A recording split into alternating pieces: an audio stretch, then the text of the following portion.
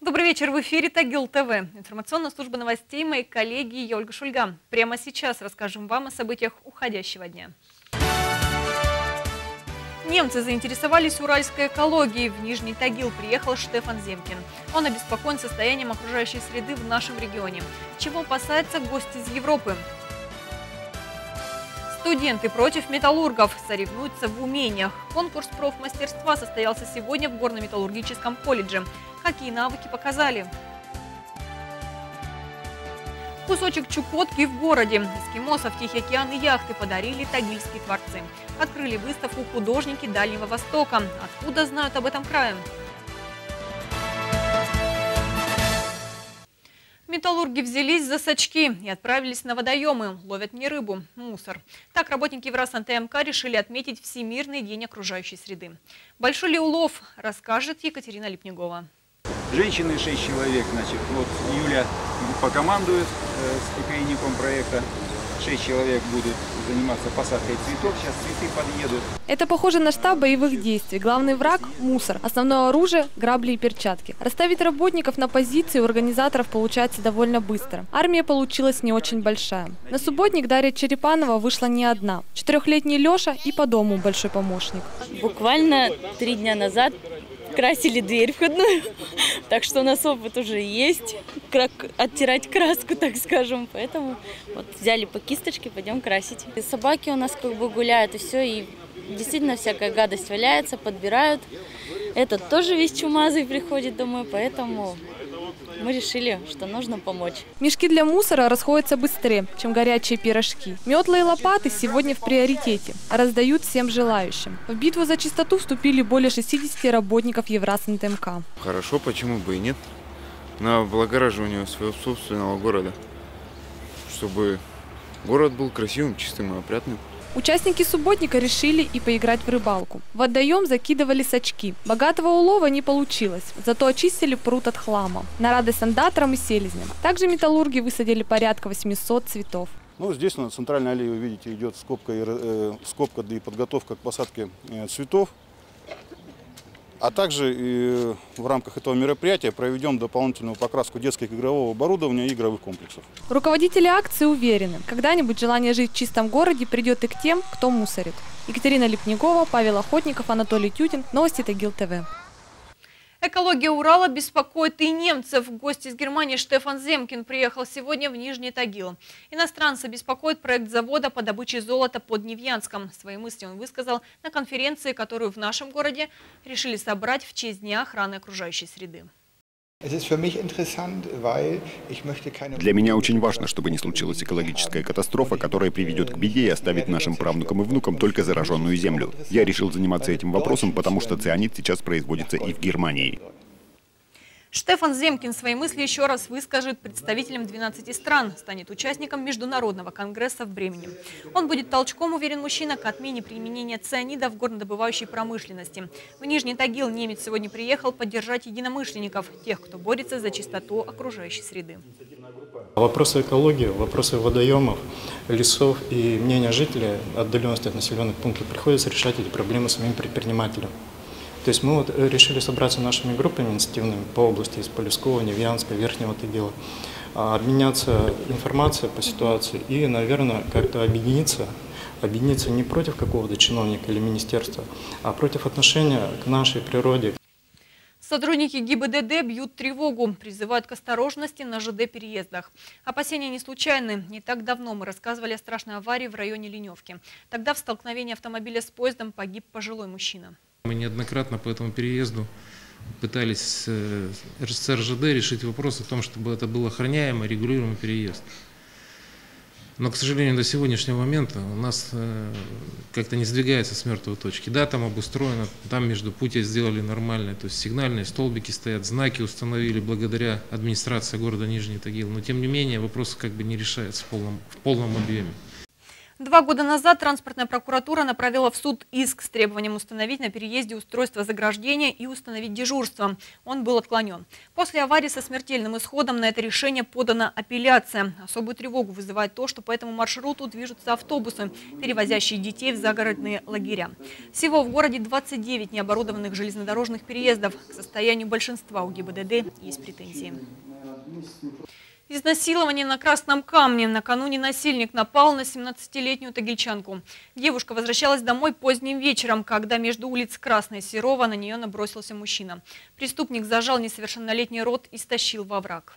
По словам потерпевшей, составлен субъективный портрет насильника. На вид ему лет 37-40, э, рост 170 сантиметров, среднего телосложения, загорелый мужчина – темные короткие волосы, карие глаза. Девушке удалось разглядеть на руке обидчика обручальное кольцо, а на спине татуировку. Правда, в деталях рассмотреть ее не смогла. Рисунок был либо в виде крыльев, либо в молнии. Фоторобот преступника вы видите на экране. Если этот мужчина вам знаком, незамедлительно сообщите в дежурную часть по телефону 47 71 02. За значимую информацию гарантировано вознаграждение.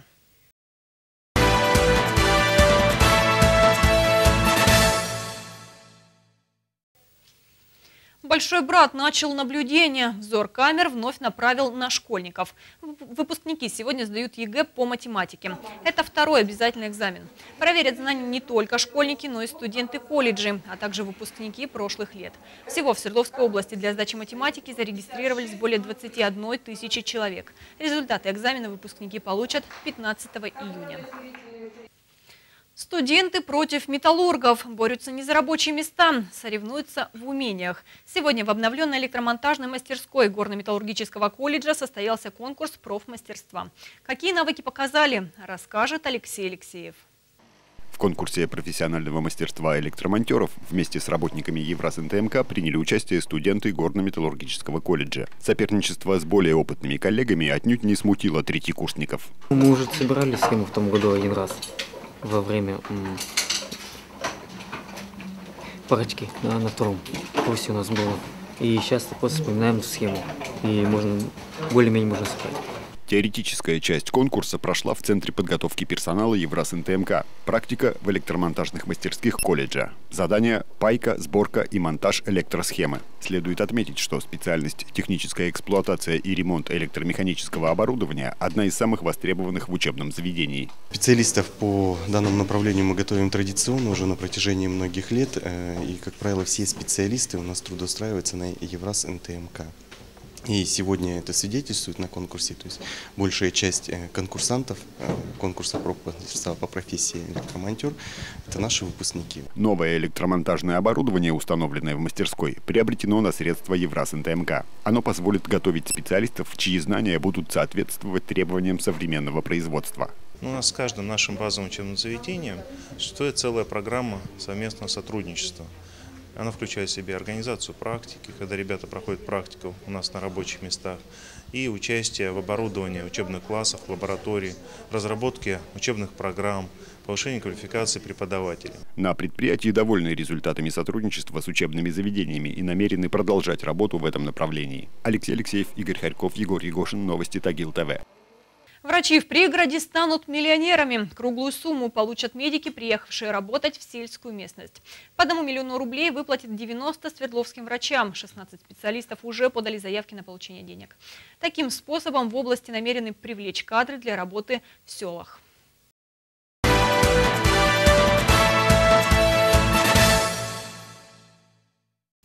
Тагильчане стали обладателями кусочка Чукотки. Эскимосов, Тихий океан и яхты горожанам подарили Владимир Илья Истомины, Валерий Бригаднов. Открыли выставку художники Дальнего Востока. Откуда знают об этом крае, узнала Елена Терехова. Его машина времени выглядит именно так. Картины, обрамленные в рамке, где Тихий океан и самые добрые на свете люди – чукчи. Я на Чукотке прожил 27 лет. У меня там дети родились все лучшие годы прожил там. Кто там побывал, я до сих пор, вот 15 лет уже как вернулся, а душа моя там осталась. Теперь его душа на картинах. Оленеводы, суровая природа, люди, которые ждут корабль с провизией, восклицая как амей. Особое слово жителей Чукотки, которое выражает восторг. Его готов повторять по отношению к Дальнему Востоку и Валерий Бригаднов. Прожил там два десятка лет. Я в Владивостоке был капитаном новой польской яхты «Славянка». Мы так ее назвали в честь залива Славянка, которая недалеко от Владивостока. Вот. И я освещал ее, модель, модель делал, модель и осветил ее в церкви. Чтобы в пути сопутствовал успех, свое любимое дело жизни – парусный буерный спорт продолжил воплощать после Дальнего Востока уже с помощью искусства. И сегодня очень отрадно, я безмерно буду благодарен и признателен авторам, что они такой подарок сегодня сделали нам, тайгельчанам, жителям нашего города, землякам, в этот э, действительно особенно удивительный год, когда э, мы считаем, что культуре должно быть особое внимание, но э, это внимание, оно не может быть на пустом месте, а это именно внимание к творчеству вот таких замечательных людей. Свою выставку они сами называют ностальгической. Скучая, собрали свои самые лучшие работы. Показали даже наброски. О Дальнем Востоке своим творчеством готовы рассказывать еще целый месяц. Именно столько продлится выставка. Елена Терехова, Александр Штраух, Егор Егошин. Новости Тагил ТВ. Тагиле родился грустный человек. В свет вышел сборник стихов с таким названием Василия Всепьяна. Автор презентовал его сегодня в музее имени Бондина. Какие произведения вошли в книгу и есть ли лицо у грустного человека? На презентации сборника побывала Дарья Хнычкина. Здесь каждый холмик выжженной земли пытается сказать про неизвестность, в которую десантники ушли. Эти строчки Василий Овсепьян посвятил отцу. Во время Великой Отечественной он воевал за освобождение Крыма. После ранения тяжело болел, долго лежал в госпитале. Василий Овсепьян годами не виделся с отцом. Мешала работа, говорит, плюс расстояние. Я похоронить его не мог. Семь лет не мог съездить. Денег не было.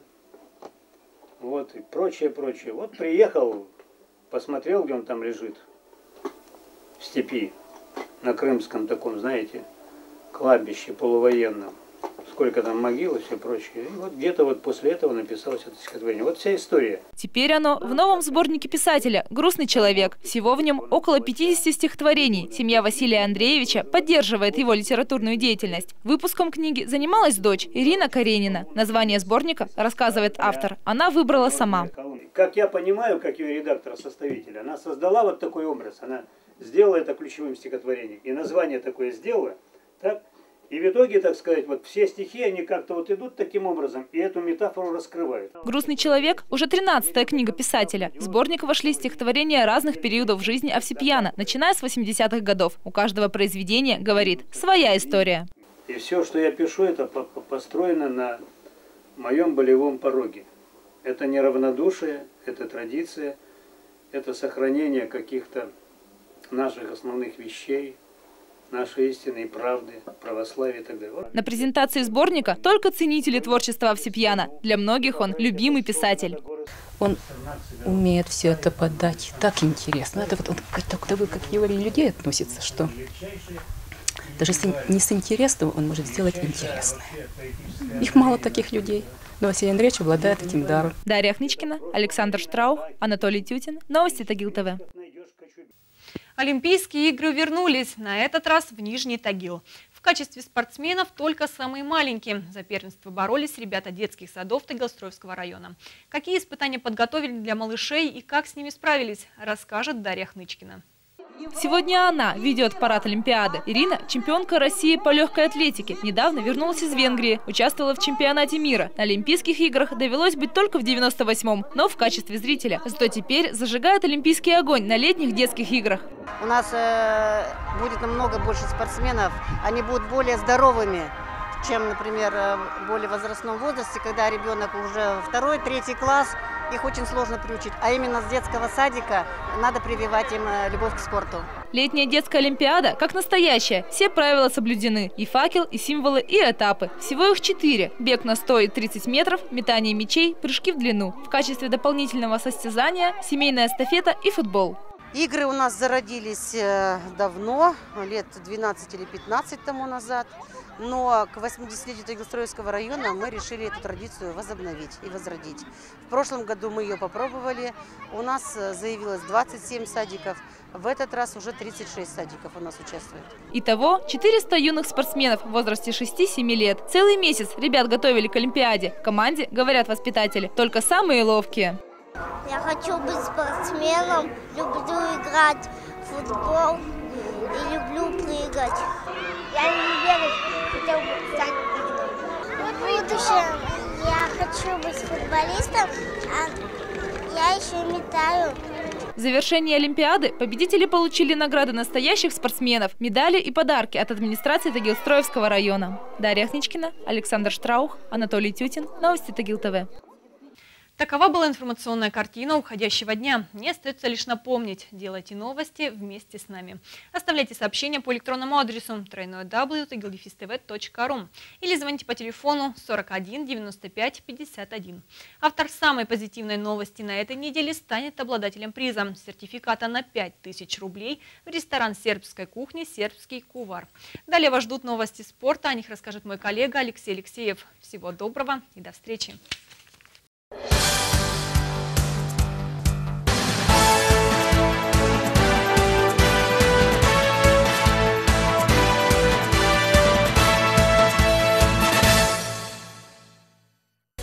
Рубрику представляет компания «Синегорье». На Лисьей горе прошел первый этап открытых соревнований по горному бегу. Протяженность трассы, проложенной по склону городской достопримечательности, составила 800 метров. Перепад высот 100 метров. В состязаниях могли принять участие все желающие. На старт вышли более 80 человек. Много участвовало спортсменов из других видов спорта. То есть помимо бега это лыжники, велосипедисты, ориентировщики, туристы, там все желающие, кто активно ведет образ жизни спортивный. Всем э, желаю приобщаться, то есть э, разнообразить свою спортивную жизнь. Лучшее время у женщин показала Любовь Новгородцева, у мужчин Евгений Марков. Осенью организаторы планируют провести еще два этапа горного бега. Они пройдут в Горбуново и на Голом камне.